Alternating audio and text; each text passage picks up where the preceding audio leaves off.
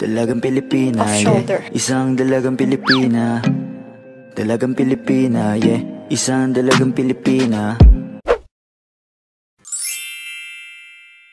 Hi guys, good morning! So I'm back with a new tutorial. So today we're going to make a summer glow makeup tutorial. Basta pang summer siya. Saktong-sakto, I'm going out and I need to protect my skin. Let's start na with the tutorial. Pasensya na if maingay ulit. So I'm using Garnier Micellar Even Though Cleansing Water Makeup Remover slash off shoulder cleanse lang natin siya ng bonggang-bongga. Init guys, super summer na talaga guys. Ah, by the way guys, if napapansin nyo, yung color ng hair ko is parang reddish mahogany. Ganito naman talaga yung parating hair color ko, but I love it now kasi pareho talaga na yung color lahat. Pantay-pantay yung co- color. By the way, if you can see my nails, nyo yung nails ko guys. And look at this.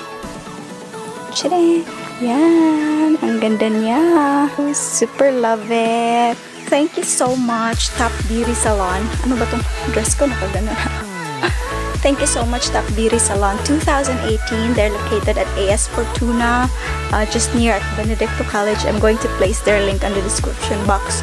Meron silang FB page. Sila yung nagkulay sa akin and ano ng nails at saka foot spa as in total pampering.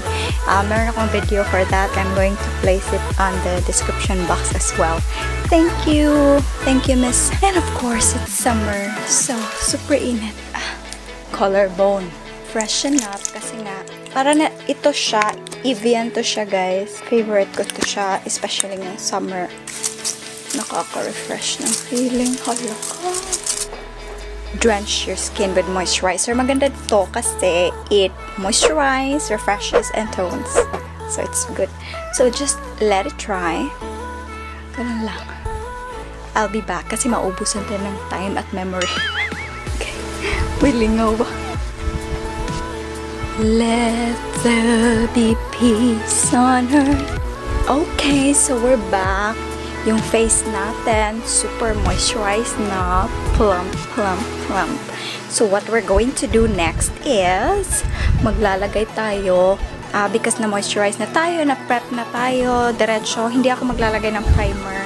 Ano lang siya, maglalagay ako ng ito. This is from Beauty Derm. This is their day cream. Maganda to siya kasi na moisturize na tayo. Maglalagay tayo ng sunblock. This one is an SPF 50. Konti. Nakalagay kasi dito, konting ano, pea size lang ng sunblock. Pero hindi na yata to pea size yung ginawa natin. Marami na to. At isi-spread lang natin. Yung, ang ganda kasi nito kasi parang matte yung finish niya. Meron kasi ako yung video ko na Korean BB Glow process.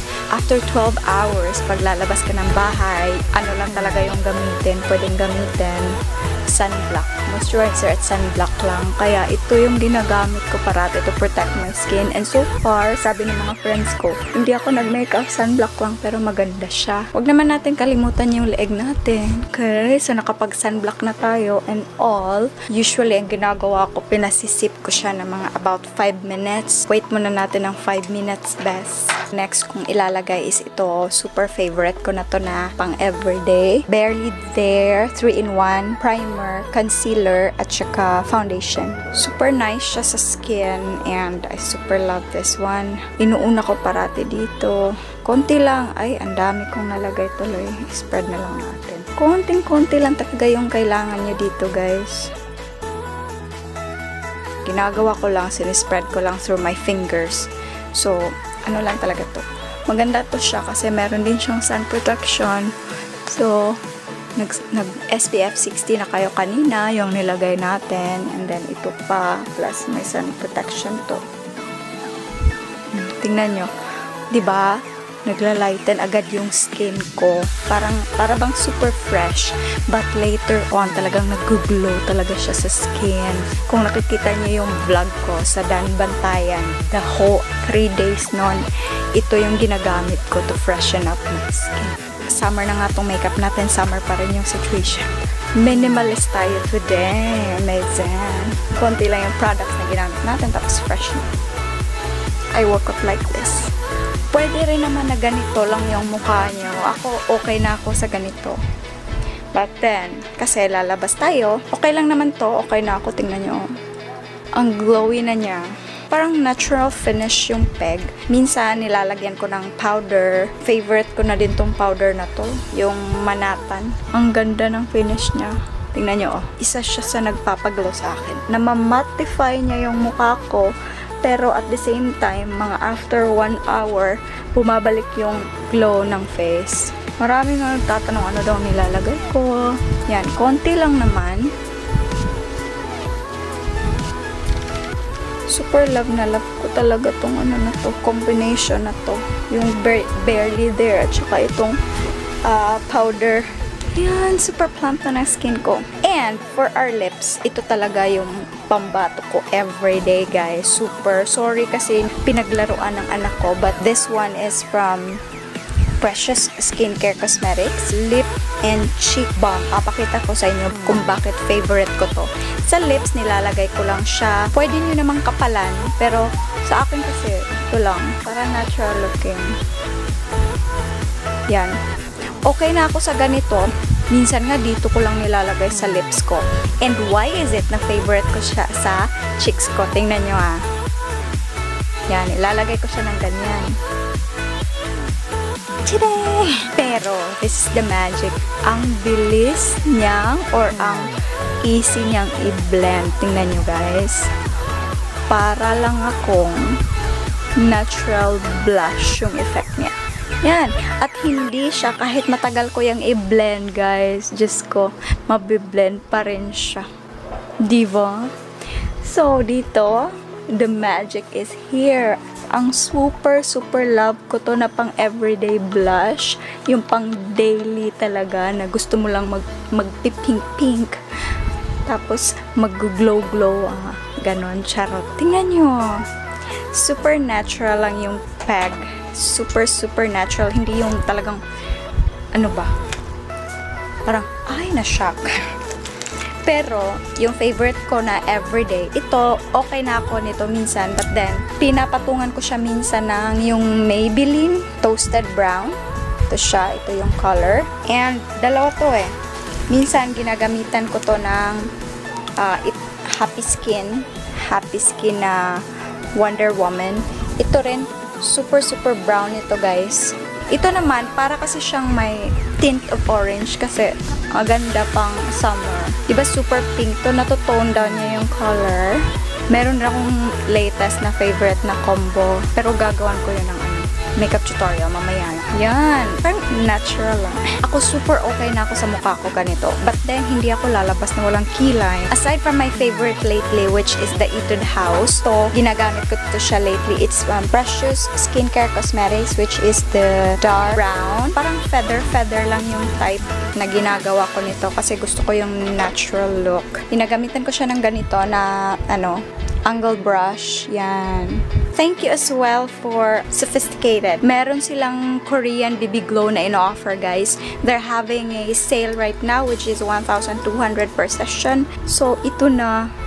Alam nyo naman na nagsisimula talaga ako sa tail. Stroke-stroke lang yung ginagawa ko pag ito yung gamit ko. Nauna ko talaga yung tail, tsaka dito yung uh, lower part sa brow kilay 101, upper part sa brow, and work it sa center para ma-blend. Minsan, nilalagyan ko ng fake. Bibili pa talaga ako ng yung manipis sa MAC. Ang mahal, 1,000. Diyos ko, guys. Di na lang, ito lang muna. So, yan siya. Napapansin nyo, dito ako nagsimula kasi isi-spread ko yan. Gusto ko siya kasi dark brown siya pero hindi talaga siya dark brown. Depende lang talaga sa application nyo kung gusto nyo i-dark. Darken, lagyan, lagay kayo ng marami pa. But then for me, I'm super happy with this light strokes na nangyayari sa ano ko. I know na makapal talaga at first, kaya inuuna ko dito yung badang middle. Yung natira is ginagawa kong parang small stroke dito yan. Tapos, kung meron kayong spoolie guys, pwede rin naman. Ayoko nung medyong klarado. Parang ganito lang. Feathery. Yan. Kung gusto nyong i-clean ng barely there, kasi concealer din siya, pwede nyo i-clean dito. But then, I'm super happy with this already, so hindi ko na siya i-clean. Tatapusin ko yung kabila and I'll be back. Super fresh ko na guys. Summer. So, dahil minimalist tayo, hindi tayo nag, ano, ng maraming products today for our summer look.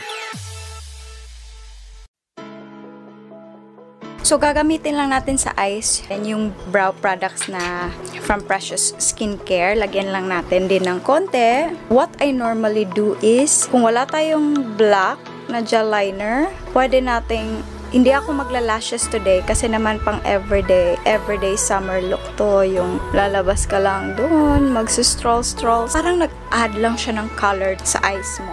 Light lang siya na bongga. I mean to say na kailangan natin siyang iset kasi naman para hindi siya mag-move-move. By the way guys, itong pomade na to ng Precious Skincare Cosmetics Trivia ha. Ano siya? ah, waterproof.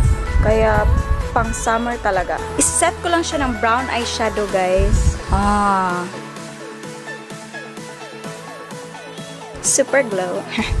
set lang natin siya just to make sure that everything has been set. And I don't normally use false lashes. Fun fact. So, yan. Next is yung Maybelline Hyper Curl Mascara. This is super favorite. Again, ang technique ko is pa-up yung mascara to lengthen it. Tapos na yung up stroke, pa-side na naman yung gawin natin. Konti lang yung flashes ko, so I need it to be visible. Kaya gina, after nung upward stroke, ginaganon ko siya dito sa gilid para kunwari meron akong ano. Tingnan nyo. Yan. Para bang meron akong extension dito banda. Nakikita siya. Ganyan nakaka-create talaga siya ng illusion na mataas yung lashes. Mataas yung lashes mo, guys. Yan. Anong nangyari sa face ko? So, nag-a-add siya ng depth. Parang, parang natural yung effect, pero maganda. Ganito na ako, guys. Parang summer, beautiful look. I hope you like this one, guys. And, yeah, aura muna tayo.